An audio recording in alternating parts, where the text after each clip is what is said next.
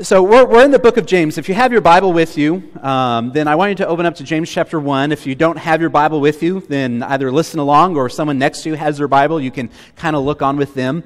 Uh, but we're going to be uh, in James chapter 1, starting in verse 19 this morning, and we're going to get to that in just a second. You know, we've started going through the book of James, and one thing that I love about the book of James is he is so very practical in what faith should be.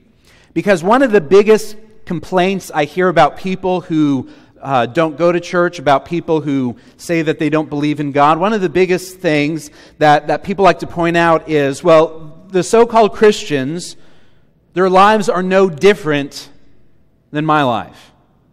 You know, sure, they go to church on Sunday or, or maybe on Wednesday, but all throughout the rest of the week, their lives are not showing anything of what they claim to be.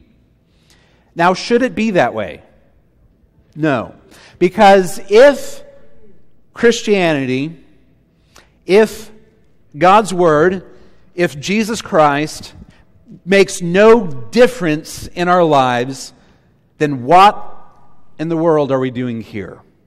We're just wasting our time. And not only are we wasting our time today, but the millions and millions who have gone before us and the millions of other Christians around the world who meet on, on, on the Lord's Day, or, and some of them meet Saturdays, and some of them meet Tuesdays or Wednesdays you know, through, throughout the week, uh, then we're just wasting our, our time. So the question we need to be asking is Does faith in Christ, does Christianity, does God's Word, does it truly make a difference? And James, he was the brother of Jesus. He was the leader of the church in Jerusalem. And all throughout the book of James, you see many times he, he addresses those that he writes as my brothers. My brothers. It was a common affectionate term because he was reminding them that, you know, as part of the church, we're part of a family. We're, we're part of the family. And he was concerned about the family throughout. They were scattered throughout the world because of persecution. So even though they were from distant places, they were still connected together, my brothers. And, and throughout the book of James, one of the things that we're going to see specifically today, but really we're going to see throughout the entire book, is this.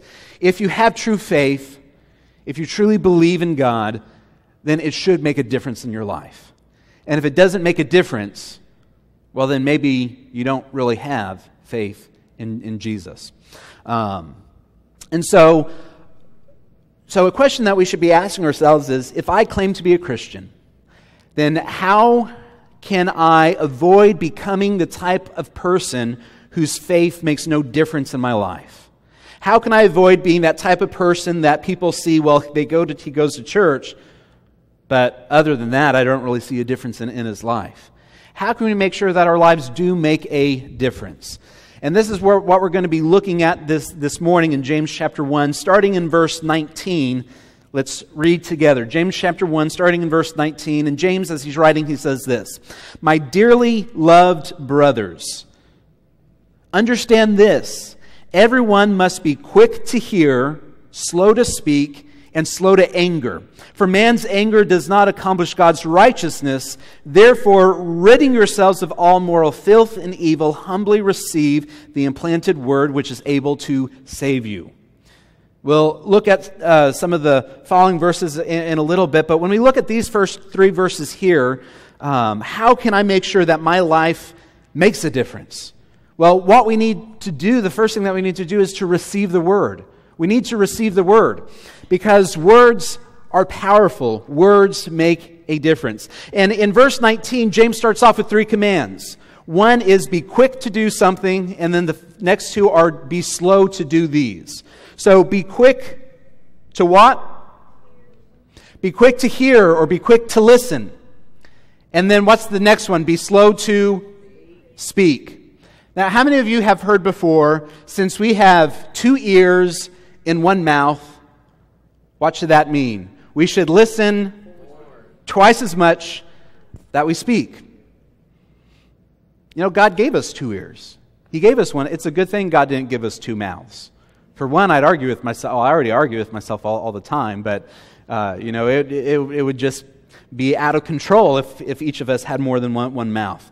Because James knows that we as human beings, we like to run our mouths. I think of the disciple Peter. Peter was one who loved Jesus dearly, but he was also one whose mouth would go quickly away from him. And the thing when it comes to words is once you speak your words, can you ever take them back? No, once they're out, they're out. You might, as soon as they're out, you might be like, no, stop, and you try to get them back, but, but you can't. And so James says, so we need to be quick, not to speak, but quick to hear. And then slow to speak. But then there's also one more slow. Be slow to what?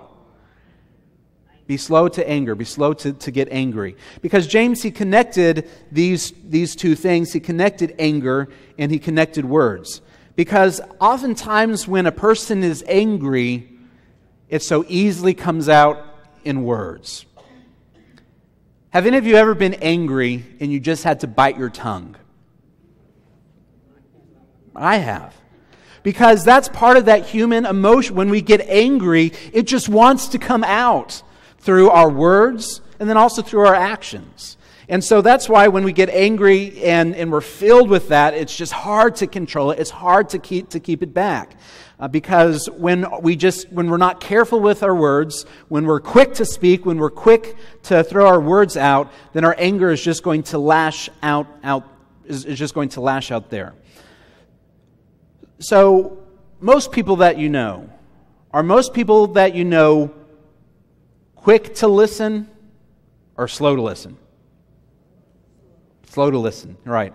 Uh, FDR, the president, uh, he made mention one time that one thing that just always annoyed him is whenever people, when, when he was standing in line and people were, were coming through shaking his hand, which as a president you do a whole lot, he said, No one really pays attention. No one really hear, hears. No one really listens.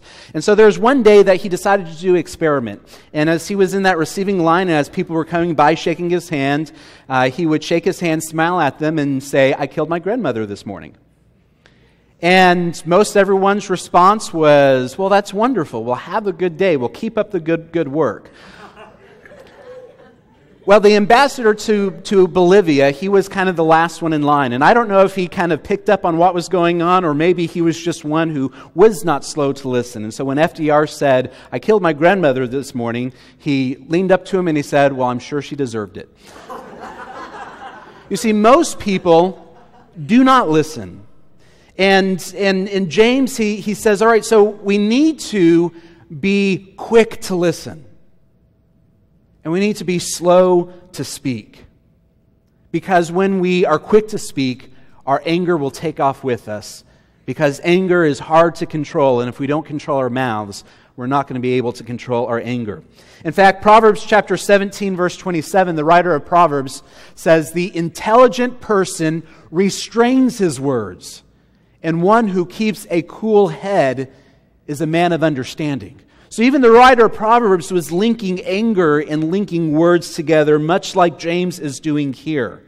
Now, when he says this in verse 20, he mentions man's anger does not accomplish God's righteousness. Now, notice he didn't say anger does not accomplish God's righteousness. He says man's anger does not accomplish God's righteousness. Because there's two different angers there's God's anger and there's man's anger.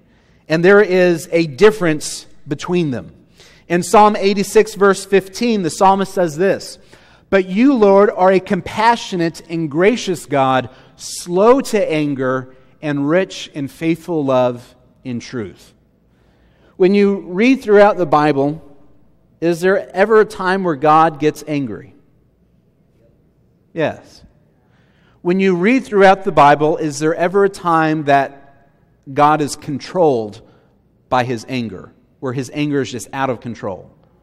Does God lash out like a spoiled child?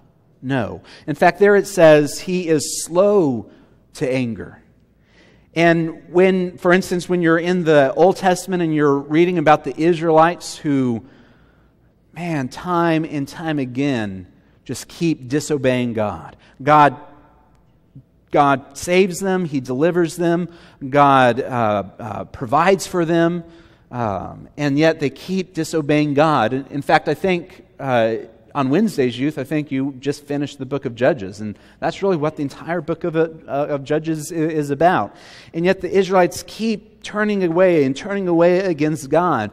And every time I read that, no matter how many times, I'm always amazed at God's patience. And really, I don't really have to go hundreds and hundreds and hundreds of years back in history. I can just look at myself and how many times that I tend to be selfish and I tend to turn away from God. And I tend not to be care- careful with my, with my words. And I am amazed at God's patience and at his grace. But God is a just God, and God's anger is always directed at sin, is always directed at wickedness, and God never does wrong in his anger. And so there's a difference between God's anger and man's anger, because man's anger is not patient.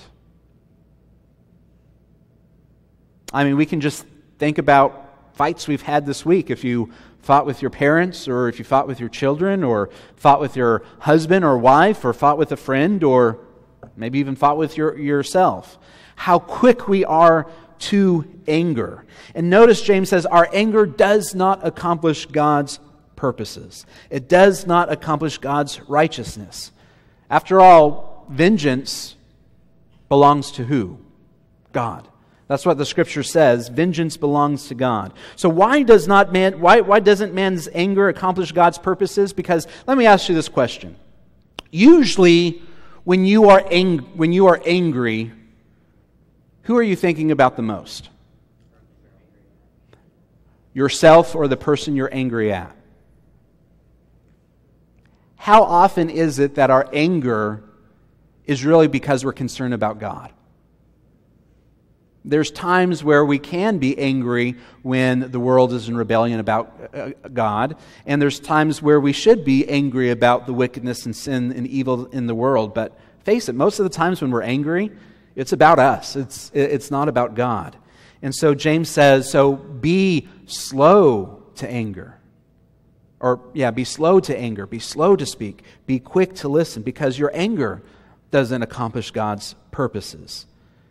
And then in verse 21, he says, So therefore, because of all this, rid yourselves of all moral filth and evil, and humbly receive the implanted word. So there's a transplant that needs to take place. You know, words are important, they are powerful. Words can destroy life, and words can give life. How many of you know the old saying, sticks and stones may break my bones, but words will what? Never hurt me. Words hurt, do they not? They do. That saying, that saying is not true. When you look at words, words are powerful. Because in the, be- in the beginning, in, in Genesis chapter 1, how did God create the world? He spoke it into existence. God said, Let there be light. God said, Let there be stars. God said, it was by God's word that life was created. And then when the world rebelled against God and brought sin and death and brokenness into the world, it was by God's word that that there was a new creation. Because as John tells us, in the beginning was the Word, and the Word was with God, and the Word was God. And it goes on to say that the Word took on flesh and took up residence among us. And that word, it's referring to Jesus Christ. Jesus is the Word of God. And by Jesus' life in death and resurrection, that there can be a new creation. In fact, the Bible goes on to say that when it comes to a person um, when it comes to a person having that new creation, when it comes to that person being saved, when it comes to that, that, that person receiving God's grace, it comes by faith. And faith comes by hearing and hearing the Word of God.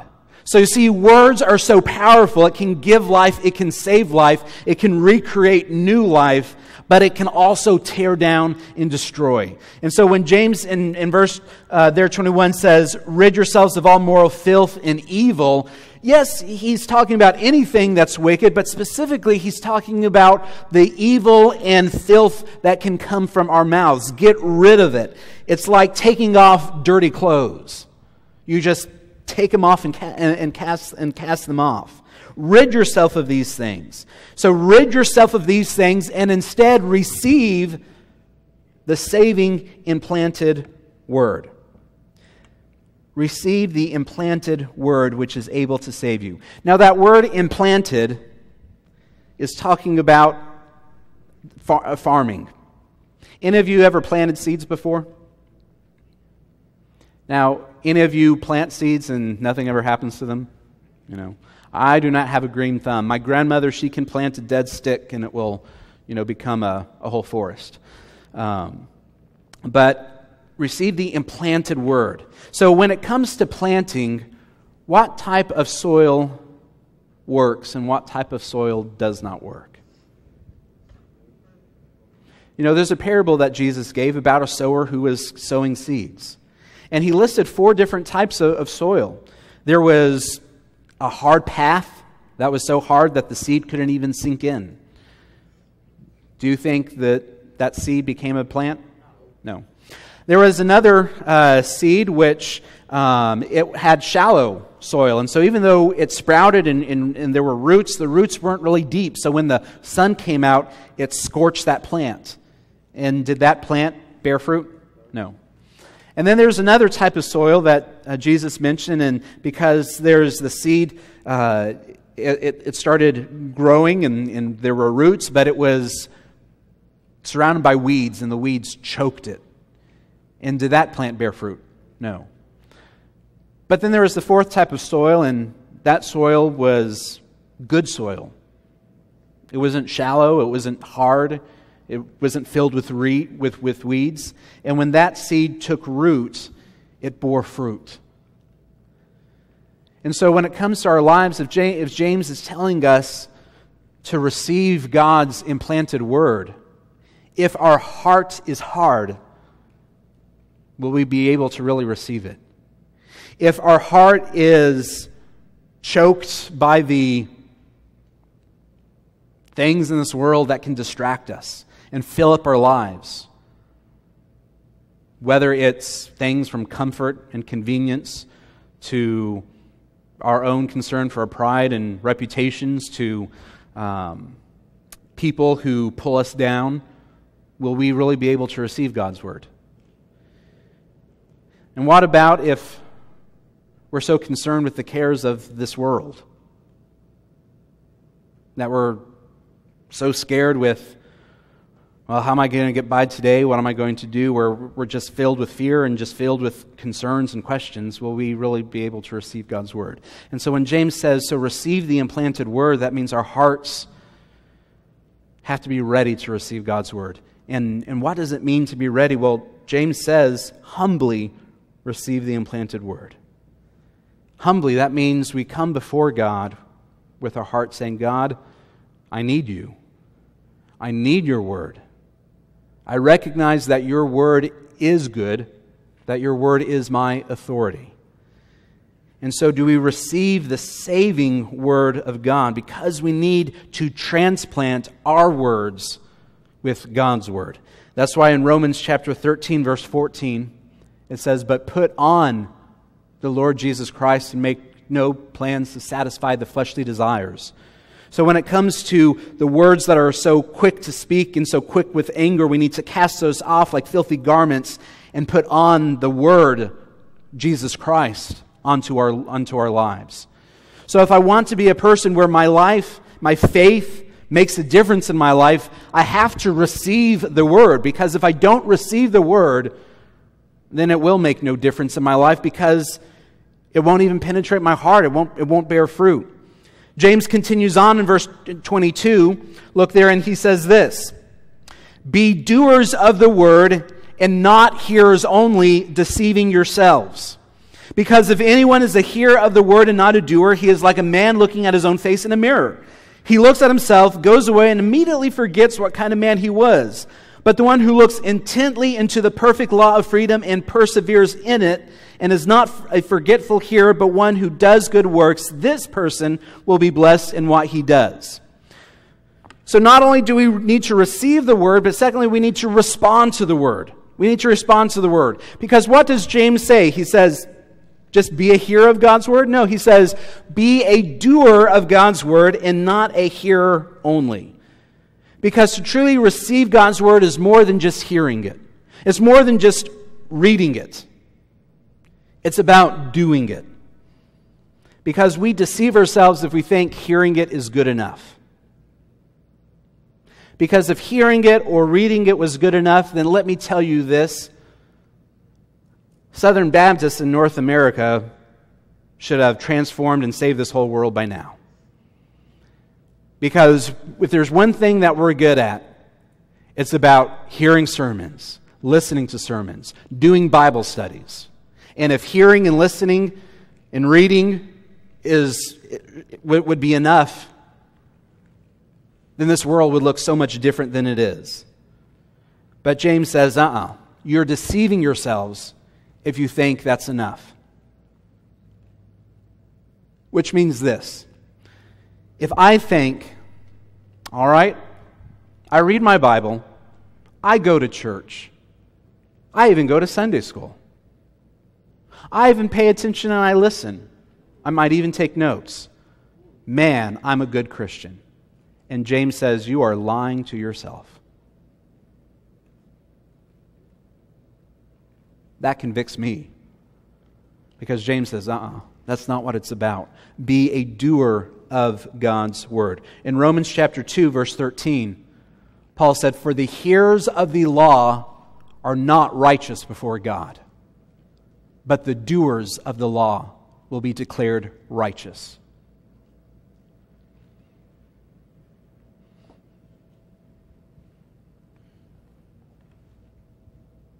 If our church and not just our local church, but yes, our church here and the church nationwide were filled with those who did God's word, it would make a phenomenal difference in this world.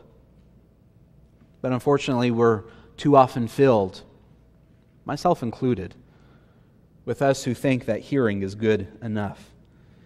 And then James talks about a mirror. How many of you have looked in a mirror today? You know, in the time in the world where James is writing, not everyone had a mirror in their bathroom. Besides, um, I, I don't remember exactly when indoor plumbing was invented. Does anybody know that, that date? Tommy? peop- it was a happy day. All right, all right. And so, and so mirrors were not uh, and, and also, they didn't have mirrors as we, as we know them. Mirrors in the, in, in the biblical world uh, were usually made of polished metal. Um, because you know, you, you've seen metal, if it's, if it's nice and shiny, you can see your reflection. And that's still not quite the same as the reflections we have in, in mirrors today, but they didn't have the mirrors that we have. Um, and so, really the most common person didn't have a mirror in their home. It was usually the rich who had a, bron- you know, a bronze mirror that was, like I said, that was buffed and, and shined to, to give a reflection. And so most people didn't have a mirror. Uh, so most people didn't look at their reflection every day. Sure, they might glance the reflection, you know, in water, or if they do happen to pass by a, a piece of, of metal that was enough to give a, to give a reflection, they might see, you know, their reflection. Now, when it comes to looking at yourself in water, does that always give a great reflection of, uh, of what your image is? Not, not always. And what about, you know, metal? You know, even nice, shiny metal, does it always give a clear picture of your reflection? Well, no. And so when James is talking about, you know, a, a mirror, keep this in mind. Most of us have a good idea of what we look like. And why is that? Well, because we're looking at mirrors all the time. But if you lived in a world where you didn't have mirrors as we do, and if you lived in a world where the only time you saw your reflection might be uh, in, in, a stream or, or, in water or in uh, kind of a dirty piece of metal, you wouldn't really have a great understanding of what you look, of what you look like.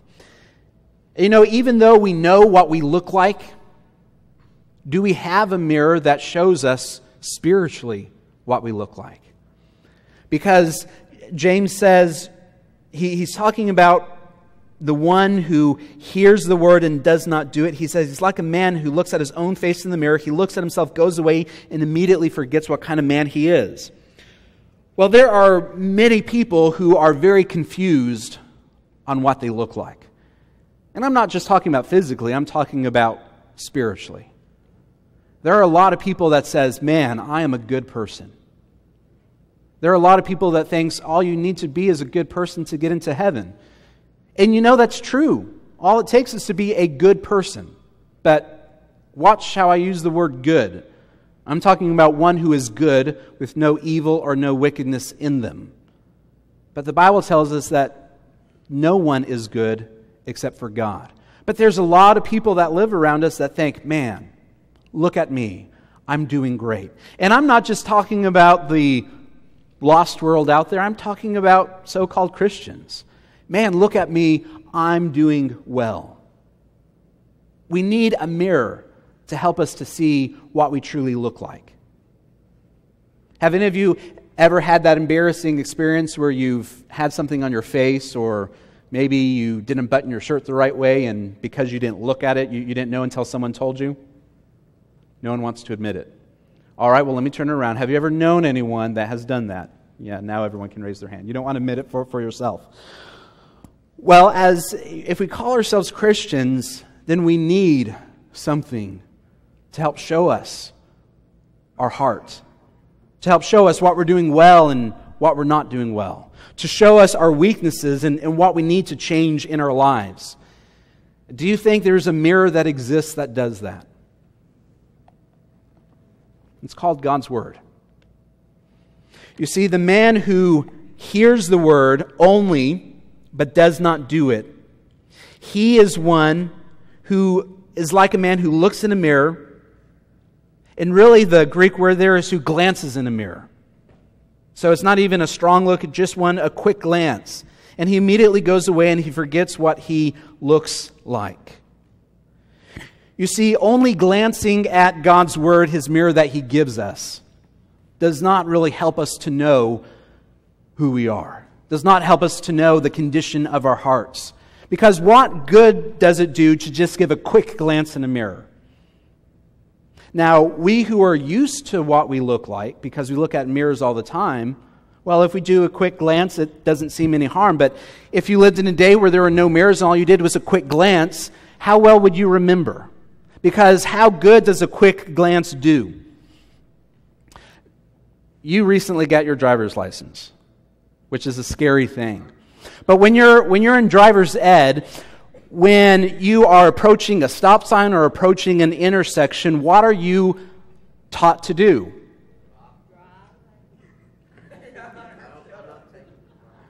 to look both ways.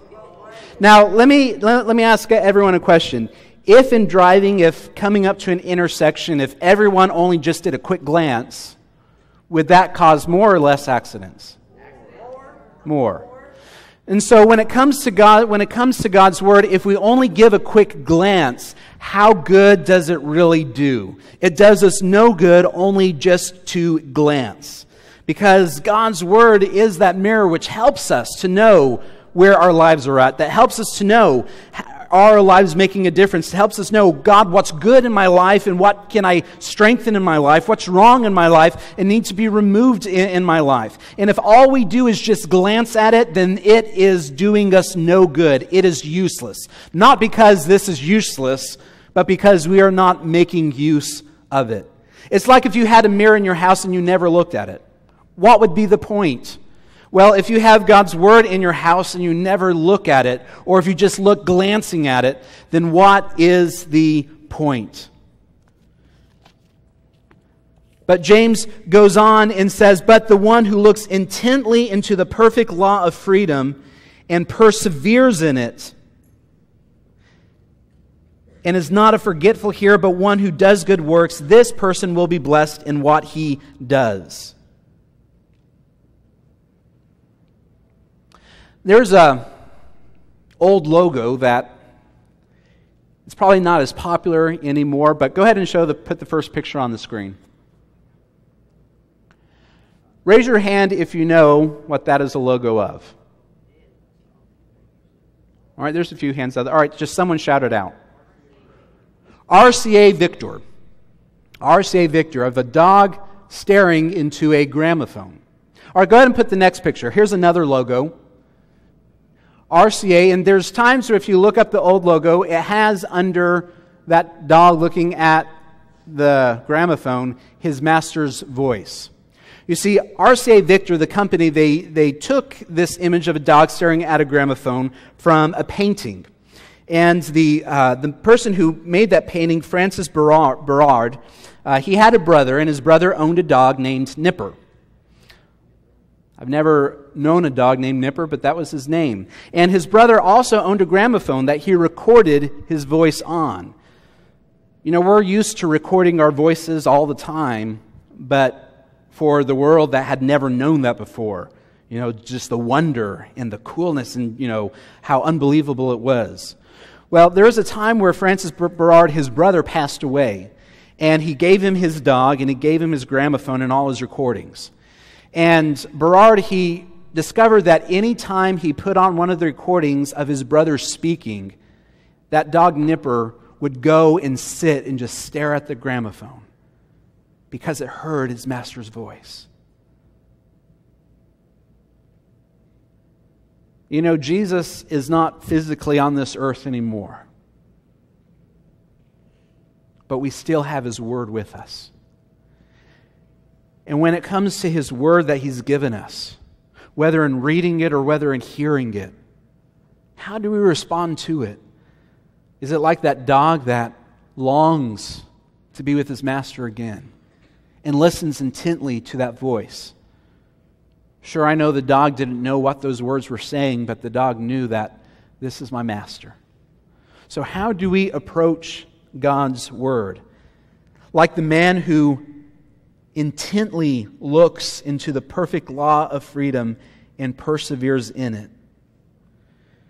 You see, we can either approach God's word intently or casually.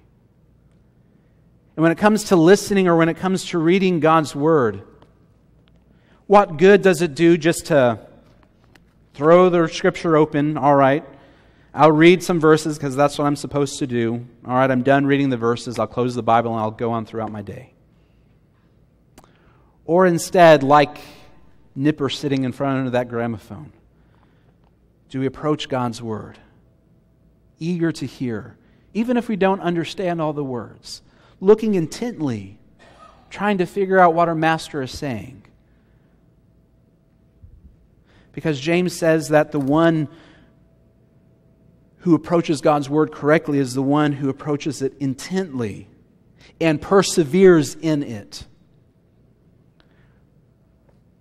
You need not only do we need to intently approach God's word, but we need to persevere in it. All too often, we as Christians, we don't come to God's Word and persevere in it. We come to God's Word periodically. When I was a youth, one of my biggest frustrations is man, there were times where, all right, I'm going to do my quiet time. And I would go strong for two days and then would go a couple weeks. And then, all right, I'm going to, I'm going to get in God's Word, and I'd go strong for a day and then go a few weeks. And you know, what good does it do for us to be in God's Word and then go for a long period without? To be in, to be out. To be in, to be out. Because how can God's Word change us if we're not in it? Because until you get rooted in God's Word, His Word will not get rooted in you. And notice what it says about God's Word it is the perfect law of freedom, as it says in verse 25. And in verse 21, it mentioned that his word is able to save you. And so I'm not talking about just studying words and getting more knowledgeable. I'm talking about his word, which frees us and which saves us. Which frees us from what? Well, from sin and from brokenness, from despair and depression from selfishness and pride, from bitterness and anger. In, chap- in Luke chapter 11, verse 28, Jesus said, Even more, those who hear the word of God and keep it are blessed. Because you see, when we respond to the word and when we follow the word, it does bring freedom into our lives. But so often people think that God's word is not about freedom, it's about restriction. Do this, don't do this. Well, God's word is just about limiting what I want to do. You know, that's the same exact lie and deception that Satan played on Eve in the Garden of Eden. Because when God created Adam and Eve, he created them in a world that was beautiful and perfect. And he gave them freedom to walk with him, to know him, to be in a relationship with him, to enjoy the creation. God just gave one law, and what was that? Don't eat from this tree here. Everything else is yours. Youth, how many of you would like to have just one rule and that's it? Adam and Eve just had one rule. Well, Satan came around and he started talking to Eve. He was in the form of a serpent. And, um, and, he, and they started talking about the fruit of that tree. And Satan said, Well, did God really say that if you eat it, you'll die. So he was having Eve starting to doubt God's word. And she said, Yes, if we touch it or eat it, we'll die. And then this is what Satan said You will not die. In fact, you will become like God. Because Satan wanted Eve to think God is limiting you, He's holding you back, He's restricting you. And all you have to do is do that one thing that God says don't do, and you'll find freedom because you'll become like God. And so, in disobeying God's word, did Adam and Eve find freedom? They found death. And so often we think God's word is about just do this and don't do that, and it's not about. But the truth is, when we follow God's word, it's, it's not about restricting us, it's about freeing us. Freeing us to be the men and the women that He created us to be freeing us to be able to have a relationship with Him, freeing us to be able to have e- e- e- eternal life. And so, do we want to be like that person who just casually comes to God's Word periodically, that just glances at it? Or do we find it as a treasured possession, something that can free us and save us, something that can change our lives and change the lives of those that are around us? Because there is blessing in the freedom that God's Word brings from sin and from brokenness and from death. And so this morning, do you really receive God's word? And do you respond to God's word? But James isn't done yet. In verse 26 and 27,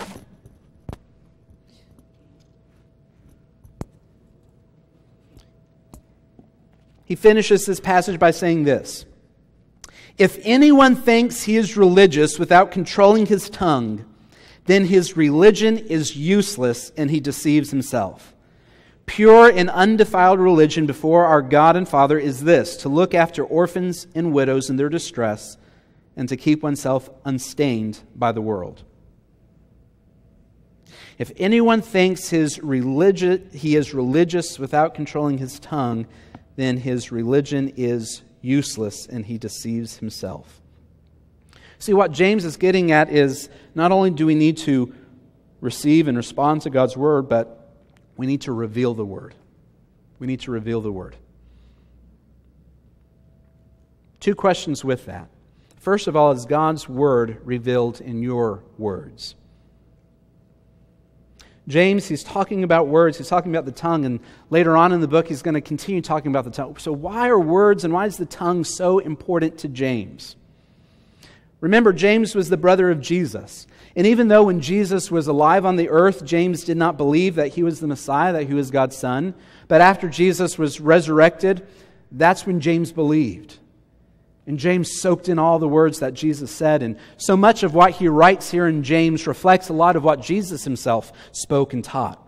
For instance, Jesus said this in Luke chapter 6, verse 45 A good man produces good out of the good storeroom of his heart.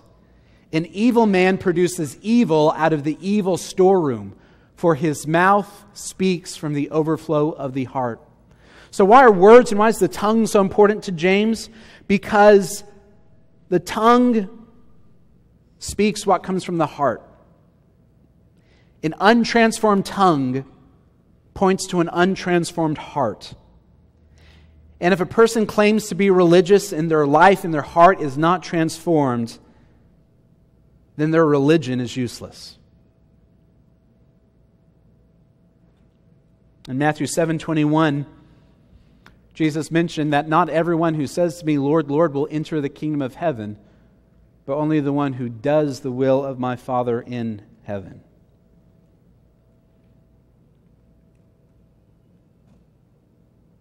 There are a lot of people who call themselves Christians.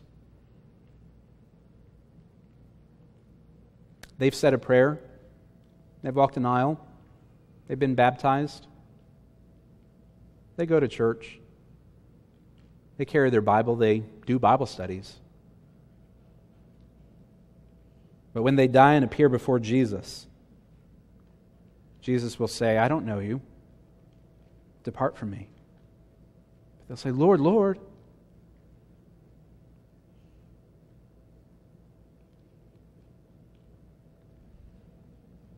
Is God's word revealed in your words, but is His word revealed in your actions? Because James then gives a definition of what true pure, undefiled religion is. And notice this it's nothing about religious ceremonies, it's nothing about church or baptism or Bible study. What is it? It's looking after orphans and widows in their distress and keeping oneself unstained by the world. Does anybody remember the two greatest commandments? The first one is to love the Lord your God with all your heart, soul, mind, and strength. And the second one is to love your neighbor as yourself. And we see those two here. Because if you love the Lord your God with all your heart, soul, and strength, then you will keep yourself unstained by the world. Because God tells us that we are not to love the world or anything of the world. Because if we love the world, then the Father is not in us. And if we love the world more than the Father, then we're going to be stained by the world. You know, earlier James was talking about a mirror, and God's Word is a mirror for our hearts, but we are also supposed to be a mirror to the world of who Christ is. And if we are stained by the world, and if we look no different than the world, then how can the world truly see who Jesus is? But if we love God with everything, and if His Word transforms our hearts, then we're going to reveal Him to the world because we're not stained by the world.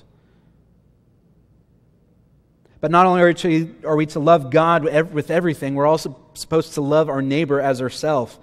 And so James says so if you want to know what pure and undefiled religion looks like, it's taking care of orphans and widows. Orphans and widows were the two most vulnerable people in, in their society. They had no rights, they had no means of providing for themselves. If there was not someone within the Jewish society who took care of an orphan or a widow, then they would starve and die. They had no way to take care of themselves. And all throughout God's Word, God told them time and time again to look after those who are the least of these, to look after those who are vulnerable, to look after those who are in distress. Because after all, when Jesus came, he came to seek and to save the lost. He came to look and find those who could not save themselves. And if God's word is truly within us, then won't we follow his word? And if we truly receive and respond to God's word, then it's going to be revealed by how we treat others. It's going to be revealed by what we reflect to the world. So, is God's word revealed in your life?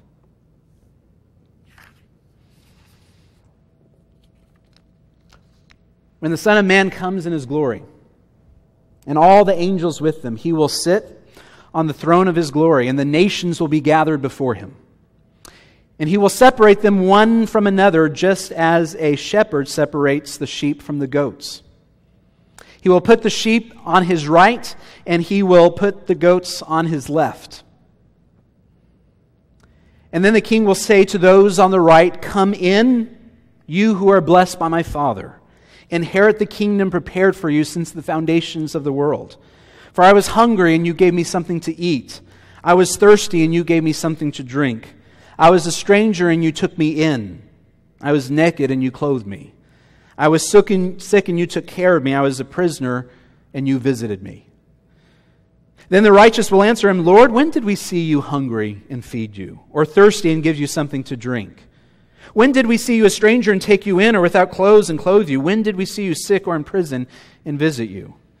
And the king will answer them, I assure you, whatever you did for the least of these, you also did for me. And then the king will say to those on his left, Depart from me, you who are cursed, into the eternal fire prepared for the devil and his angels. By the way, that tells us what the purpose of hell is. Hell exists for the devil and his fallen angels. God did not create hell for people, but for those who choose not to follow God or believe in him. Depart from me, you who are cursed, into the eternal fire prepared for the devil and his angels. I was hungry, and you gave me nothing to eat. I was thirsty, and you gave me nothing to drink. I was a stranger, and you did not take me in. I was naked, and you did not clothe me. I was sick and in prison, and you didn't take care of me. Then they too will answer, Lord, when did we see you hungry, or thirsty, or a stranger, or without clothes, or sick in prison, and not help you? Then he will answer them, I assure you, whatever you did not do for the least of these, you did not do for me. And they will go away into eternal punishment, but the righteous into eternal life.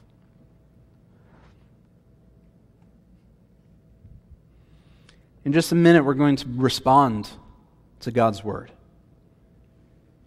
And I pray that there is no one here who is so deceived that they think that they're going to be going into heaven when in the end they'll hear, Depart from me. Because if we have truly accepted God's word in our heart, and if we have truly believed in the word in Jesus Christ, then it makes a difference in our life. That's what James is talking about. If we call ourselves a Christians, it doesn't mean we're going to be perfect, but it means that our lives will be reflecting Christ. It means that our lives will be demonstrating Him through our actions and through our words. And if He makes no difference in my life, then I don't know Him. And there might be a person here today that, sure, you've said a prayer, you've walked an aisle, you've been baptized, but if there has been no change in your life, then do you really know Him? You have an opportunity to. Don't let it pass away and you just get to heaven and say, Well, God, I said a prayer, I was baptized, I did the religious things. Because without a relationship with Jesus, there is no eternal life. And a relationship with Jesus will change our lives and bear fruit. And so this morning, receive and respond to God's word. For one of you here, that might mean salvation for the first time, a relationship with Jesus. To turn from yourself and your sins and say, Jesus, I do believe in you, that you died for me, and I want to give my life to you, not just in words or in actions, but truly to surrender everything, to give you my heart. And if you have not done that, then today you have an opportunity to. Fellow Christian, how will you receive and respond to God's word today? Maybe it might be in responding to His word in, the, in obedience because your life has not been reflecting Him to the world around you. Maybe today you need to come and to rededicate your life. Maybe you need to come today and say, It's time for me to be baptized. I have accepted Christ, but I've never followed obediently in being baptized. Maybe today, what it means to be obedient to God is to join is to joining this local fellowship of believers. Maybe in being obedient to God means to come and to give up that thing that you are worshiping more than God. To give up that thing that is robbing your life. To give up that addiction, to give up that friend, to give up that anger, to give up that bitterness. Maybe you need to come, and by receiving and responding to the word, it's time that your life will reveal his word through you to those around him. So after we pray, how will you respond? Father God, we come before you, and Father, we thank you that you have given us your word. that frees and saves. Father, I pray if there is one this morning here who does not know you, God, that they will enter into that new life and that new relationship. God, I pray that you would reveal to each one of us here what we need to do to truly receive your word, to respond to it, so that you are revealed through our lives. Father, may we come and may we respond obediently. It's in your name, Jesus, we pray. Amen.